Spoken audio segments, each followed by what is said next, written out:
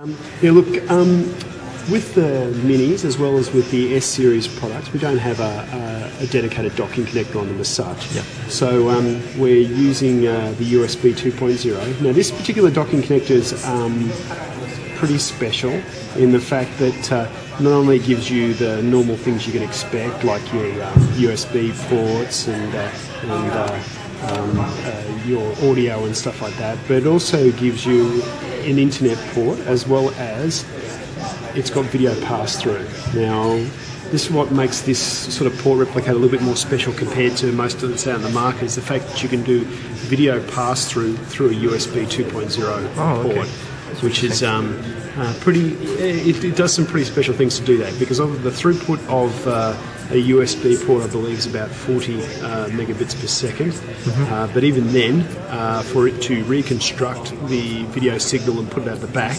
Um, there's a little bit of coding work that goes on there, as well as the fact that uh, um, there's a bit of intelligence inside this thing to actually project it up and uh, get it so it's in sync and stuff like that. Yeah, and while doing the rest of the USB and the That's Ethernet right. at the same That's time. right. That's right. Yeah. Without without seeing you downtick in performance.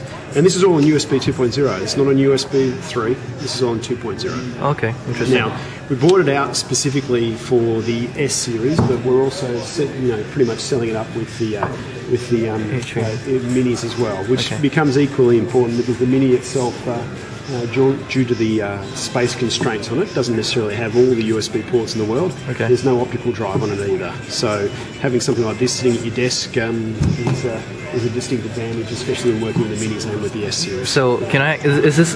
Do I need to? am- Am I only able to use this on the HP Mini and the? Uh, No, you can use it on just about any device. Any- you like. any other Yeah, it's, it's, PC. it's not. There's no. There's no. There's nothing proprietary to HP here. You do need to load a driver onto Okay. your s- system, but Okay. anything that supports XP Pro or, or XP and, and Vista will be able to support this particular um, uh, device. What about Mac? Mac, I don't really know the answer to that question.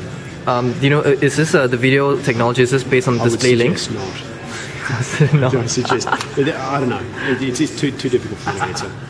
Is the is the video? Uh, is this based on the DisplayLink technology? Uh, yes. Okay. Yeah. Cool. All right. Thank you very much. Okay.